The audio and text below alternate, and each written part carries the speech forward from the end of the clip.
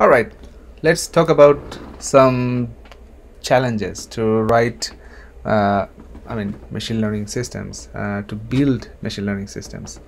Uh, so the first is, uh, I mean, most probably uh, all these three are relevant to, or I mean, tightly uh, dependent on each other. I mean, they're very, very symmetrical problem, symmetrical issues is that the systems, the machine learning systems, uh, or the systems that you build with AI are only as good as the data that we put into them. I mean, uh, so look back on the problem that we talked about uh, classifying uh, cats and dogs from photos. Uh, I mean, if I mean if the data or the the stock photos uh, uh, are not comprehensive of all cats and dogs. Uh, at the end of uh, the system design, the classification system design, cat and dog classification system design, we don't ex really expect much uh, that it, it will perform well uh, in the wild. All right, so and also definitely consequences. I mean, bad data may explore or express implicit racial or gender biases. This is very very alarming and critical that you understand uh, that actually if the data set the decision uh, say good or bad examples that I've mentioned before uh, if those goodness or the badness of the data samples or the experience say for example experience one this is a, there is a story that uh, undermines a, a, specific age group. Uh, and you're feeding these data into building a machine learning system to make decisions for for I mean for future outcomes. Uh, you don't expect that actually your machine learning model is going to be impartial. Uh, so that's one of the critical and very alarming uh, component I mean issue in machine learning system design and uh, a crucial principle for both uh, humans and machines is to avoid bias and therefore prevent discriminations in um, all regards. It's uh, very difficult even for human to, uh, I mean, express or do activities in, uh, I mean, I mean, fairly at some point, but at least actually since uh, I mean, if you'd like to build a decision support system to be used by a majority of the people or the society, you want to apply or practice the machine learning system should practice those fairness. Uh, and also definitely strictly strictly enforce discrimination and if it is flagged. Maybe during executions maybe after a month or two somebody complains about uh, that uh, your system is biased towards uh, a specific protected class. Uh, definitely uh, that's not good for uh, the system that you deployed. There might be consequences that you don't want. So definitely uh, this course is about machine learning system design but before we jump into that jumping into the technicalities we should understand about the challenges. Uh, all right so and uh, an analogy actually uh, that AI has been used for good purposes and also bad purposes as well. So I mean uh, hacking you know about the cybersecurity uh, I mean adversaries they also use machine learning tools to hack a particular system say the understanding the overall behavior, the network activity, or the finding those vulnerable nodes or entities or the computers. Uh, and at the same time, on the defense side, actually, uh, uh, we tend to build uh, machine learning models to track uh, those activities, uh, block those activities, ban those users, and such and such. So. you have to understand about the two sides of the machine learning systems uh, I expect that actually you will be on the good sides uh, to help and make a good impact on the society. But again uh, all always understand actually there is also another side of the story. So definitely you need to see actually whether your model your machine learning system will can it be exploited by someone or some organization for a bad purpose. Uh, all right so i mean here is an analogy there that fire is good for cooking food getting warmth but at the same time it can burn houses. So uh, definitely you need to understand the two sides of the uh, story. Uh, here is uh, one particular example uh, of using machine learning system to hire uh, say people in, in a company there's programs like Gild, Entelo, Textio, Doxa, and most companies they have or they're probably using some tools of this sort as I mean reading a resume or CV uh, they will filter out uh, or filter in. I mean uh, so select some of the I mean shortlist some of the candidates and uh, it, it, it is I mean a phenomenal I mean it's a uh, it saves a lot of time from human uh, how to say it, I mean uh, I mean recruiter or the reviewer of those CVs uh, but at some point actually uh, in in back in 2017 I mean I mean or at one or two years or I mean before that I mean Amazon was blamed that actually their AI tool was biased towards hiring men. Uh, so that has to, I mean, that's the reason actually they had to scrap uh, that automated hiring tool uh, in in 2017 after three years of deploying that. Uh, there are technology uh, all around us. Uh, surveillance technologies are used in bus stations in street corners, even uh, in the neighborhood. Uh, most houses uh, or apartment complex they use a ton of surveillance uh, technology and also, I mean, human tracking. Uh, so you can, I mean, uh, I mean, you, you can see actually that the issue with too much applications of surveillance might have a bigger impact on our daily lives. Uh, say for example, we don't want to get recognized. Uh, I mean, say so that actually maybe uh, you were tagged or identified at a crime scene or uh, later de detected maybe and also mm, uh, the, the lawsuit may tie you uh, in corroborating with some some bad guys so and maybe people may accuse I mean if the surveillance tracked someone because you know actually that there is no 100% uh, how's that uh, recognition uh, facial recognition does exist. So if your uh, you I mean I mean if a lookalike uh, person was detected elsewhere where uh, I mean uh, a, a, an accident happened your uh, you might be get into the trouble.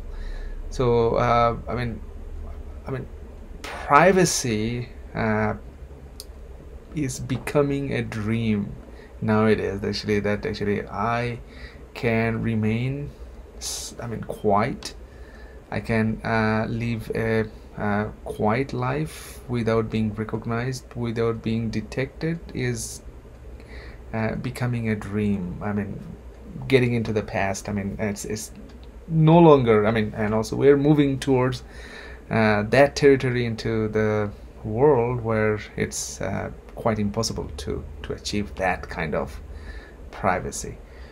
Uh, so that's a. I mean, that might be something actually this is that makes a bigger impact into the society and the, their people's lives and also this is actually an, an interesting project uh, I mean definitely leveraged with uh, uh, machine learning uh, that learns natural language text actually uh, natural language communication.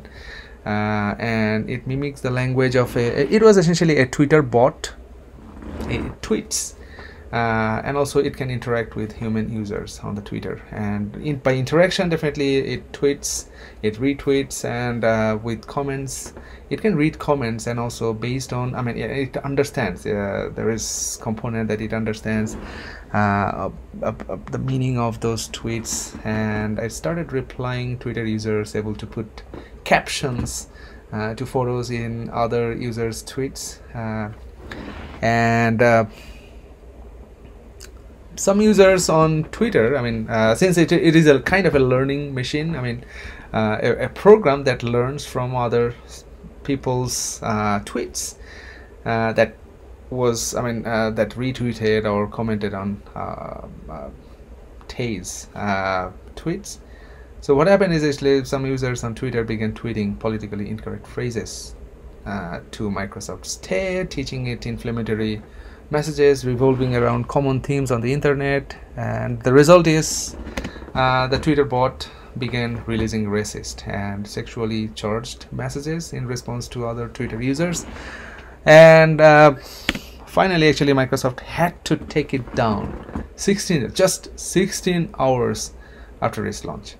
Uh, so that's I mean it's a power tool that actually it, it learns or it knew how to learn but you see the consequences of learning i mean without moderation or uh, those checks or block points definitely you have to be understanding about that. The blame game actually uh, i mean who to blame? I mean the developers of the those tools or uh, or us? I mean uh, i mean or, or, the technology itself? Uh, i mean definitely we should not uh, blame the technology. I mean, this is my personal opinion actually. Uh, ethics, uh, these ethical impacts that we uh, are making or we are about to make into the world, uh, this is a, not a technological problem. This is the problem. I mean, this is our problem. I mean, the developers' problem. So, uh, or I mean, definitely the team, whole team who who build that model, machine learning model, or the computer program that we're talking about. So. Uh, definitely so it's all becomes your responsibility. If you are want to become a data scientist you should understand this. This is a long list of agreements uh, that you need to sign. So that's why I, I, I encourage that actually you understand the issues challenges before you start at the top of the data pyramid right? So the machine learning AI those cool algorithms will come a lot later before you uh, or said uh, do some homework about the impacts and challenges. So uh, how to teach AI ethics. So there is European organization uh, I mean this is called uh, GDPR General Data Protection Regulation uh, was established and it's been applied uh, many years. I mean and they were successful. Most of the websites that you uh, browse these days uh, I mean those are I mean they sometimes actually they uh, have you accept cookies or something uh, or these allow uh, you to being tracked. Uh, those are essentially they have to do that otherwise those websites may be turned down or maybe they will be penalized for a fee because they were not practicing those regulation uh, so the rules that you cannot allow a computer so this is um, um, they, they, they say actually their statement is that you cannot allow a computer to make a decision that you cannot explain as a human. Uh, this is very important at this point actually. This is just a policy. I mean uh, the in, the age that we all are living uh, so we we don't I mean we are making or deploying a machine learning model to make decisions on behalf of us but at the same time actually if the machine learning model predicts that this is a cat the model itself needs a way i mean uh, to tell you the tell human uh, about why it predicted it something to be cat right? So you know, a proper explanation. So you i mean as a human you can also be able to tell this is a cat so there has to be something. Uh, we should not treat machine learning as a black box. Uh, one way to reduce bias or avoid bias is to remove the sensitive data from um, I mean uh, in the first place before you feed that data into the building that machine learning model. But the problem is uh, there is one uh, I mean issue of disparate uh, impact. I mean uh, first actually by removing you are definitely eliminating uh, segregation in the I mean treatment. I mean you don't treat samples data samples differently based on those classes. So for example gender race uh, some somebody else's uh, credit score and so on and so forth. Uh, but uh, still there might be implied bias I mean that doesn't directly uh, I mean I mean you can correlate that but you're only removing those particular properties of the data data sample. But still the data might contain in a, in a, in enough relationship to relate something to uh, to one of those protected classes. So disparate impact is uh, another indirect uh, bias that you need to worry about uh, transparency in the algorithm I've already mentioned about this that actually that uh, we don't want machine learning to become a black box uh, to be used by users. Uh, so it has to have a way to explain uh, why it predicted something to be bad or good. A few algorithms have been used to fire I mean teachers in at a high school. You can look it up uh, the link is given there. So without being able to give them an explanation of why the model indicated that they should be fired.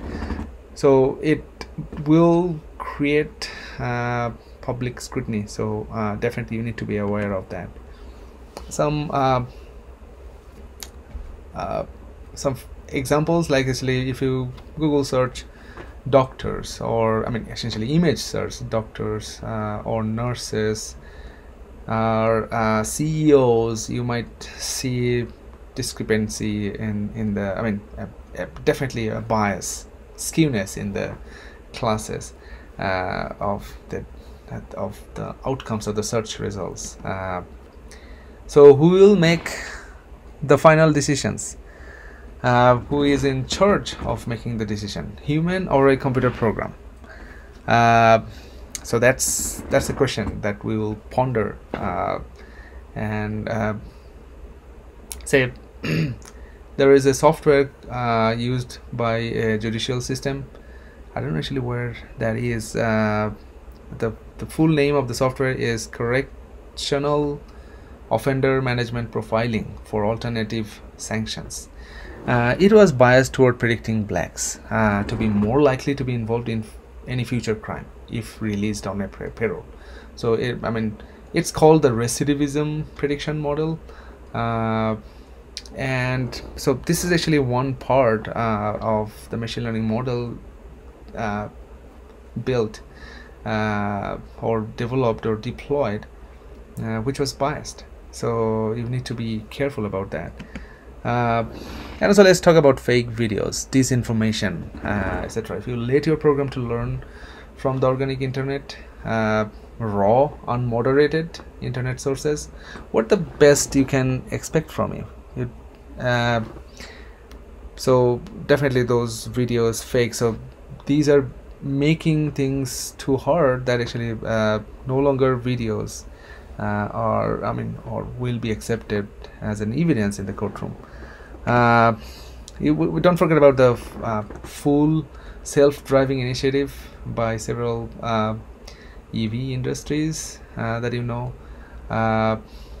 They, they forget I mean definitely they are there is an ethical point ethical question and which is raised by uh, Philippa Foot many many years ago 1967 uh, it's called the famous I mean or infamous trolley problem I mean should you pull the lever? So say for example you are the conductor. I mean uh, who will direct yeah, this train the approaching train to any one of this direction? Uh, so I mean should you pull the lever? I mean which direction should you pull the lever? Uh, so coroners uh, I, I mean coroners those full fully autonomous vehicles, uh, self-driving uh, enabled vehicle, uh, definitely come to this point actually that different scenarios, given different scenarios like this, uh, what should it decide? Uh, should we let the machine or the computer program to kill somebody? Say car owners should determine their car's ethical values. So ethical values i mean definitely you need to quantify or i mean in, in a way that you need to measure. Uh, such as say for example uh, safety of the owner first or the owner's family first or safety of the uh, uh pedestrian. Say for example i pay big money to buy a car with full autonomous uh, system enabled. Is it ethical expectation from me to protect me and my family only in the car rather than pulling over a pedestrian crossing the street in a hazardous situation. Maybe uh, the driver most of the cases the driver is at fault. Most likely as you know from the driving school. So i mean definitely actually what do you expect from this? I mean uh, i paid big money to save me but uh, so should you let uh, the computer in the full autonomous uh, car to kill me? Uh, is debatable, right? So uh, can we introduce morally, morality uh, into into machines, uh, or how can you introduce morality uh, into the machine? so uh, it, I mean, are we all, I mean, uh, building those patterns, say, rule-based programs or programs fol following the utilitarianism, choose whichever is good for the majority what if the majority overpowers the minority? Who is good or who is bad? These are all relative terms. I mean, uh, we don't have concrete answers uh, to that. But again, uh, we human continuously uh, strive and being challenged by this type of scenarios. So think before you start writing code. Uh, to build a machine learning system. Uh, you remember that story of the of a saint uh, in a temple many many years ago uh, who always tells the truth uh, one day, a wounded fel fellow uh, barely ran into the temple and fell near the feet of the saint and asked for help by allowing him to hide somewhere in the temple to get away from a group of thugs. He called thugs who were looking for him to kill. The saint was quiet and uh, the fellow quickly hid into a closet while a group of people opened the door of the temple. The seems to be the leader asked uh, if the saint saw a person of certain height or um, the, the description he, he, he mentions about the hair color and so on and so forth got into the temple or fled somewhere that he can help them with right uh, the tracking that guy since the saint never told a single lie in his entire life and he showed them where he hid in in the temple and the group found the person and killed him in front of the saint. Although it was, I mean, a religious story, meaning as a consequence the saint had to go to the hell, uh, regardless of all the good things he did. Uh, so even without the religious touch, okay, so uh, definitely actually touch of this story. I mean, the moral of the story is actually definitely uh, you need to follow. I mean, we human follow our conscience, and, and in, inside uh, us that you need to feel inside actually what is good and bad right so uh, the common sense that we possess the humors that we uh, play or laugh about or sometimes we take it seriously so everything makes us us right i mean the humankind how can you write a program to mimic this right? So uh, so i don't want to go into uh, the the religious or political debate right now but i want to emphasize that you must think uh, about the implications of your cool and shiny machine learning pro program. Uh, all right so one last learning strategy that we're used to is learning by watching right? The whole life i mean we either acted and learned something uh, and most likely actually we learned that actually to not do that. Uh, say maybe you experienced burning a finger uh, touching a candle. What you learn from it? Uh, definitely do not touch a candle when lit right? So there are two variants of the machine learning model par paradigm that we'll cover. Uh, one is the reinforcement learning is by acting actually. Uh, that say for example you touched the lit candle and burnt your finger. Uh, and and you learned a lesson that actually that that's too hot or it's, it's, it's intolerable uh, for our skin. There is the second variety of learning is called apprenticeship based learning uh, where I learned watching you burning your finger right? So that's I mean because I trust you. And uh, and you told probably told the story um, in in in in, the, in a class uh, where we, we hang out and, uh, and and share the story. So everybody knows and maybe at least most of uh, most of uh, your friends know that actually that uh, touching a burning candle is I mean is not a good idea. All right so so that's about some of the challenges of building or uh, developing a machine learning system at least before you plan. Uh, so I hope you've got that idea and I'll see you in the next video. Thank you